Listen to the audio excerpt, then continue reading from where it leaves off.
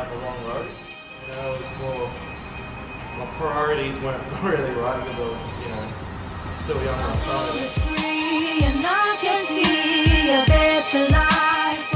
So when I first met Dale, he was um, in the principal's office. Um, had, had set up a time to meet him and. Um, yeah, they uh, told me he's in the principal's office for fighting. So um, he was part of our first intake for the Barrawarn program with the Collingwood Football Club. Um, I took a lot of confidence from it. Probably that, you know, just meeting people that have just gone for what they wanted, you know, know what they want and gone for, and uh, beating on them. I think just being around that kind of organisation with positive people and driven people certainly um, gave Dale some good tools that he could use obviously later in life. You got to keep pushing, and you only get a limited amount of opportunities, you know, and you have to take all of them. My AFL SportsReady, like, they opened up a lot of doors for me. I really expressed that I was um, really into music.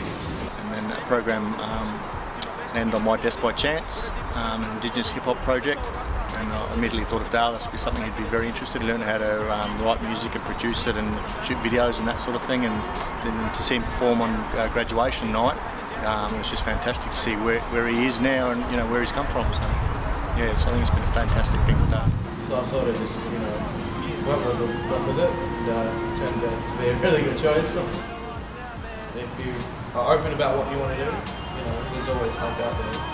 And um, just take it, take the bull by the horn pretty much, I reckon. Just say everyone, just give it a go.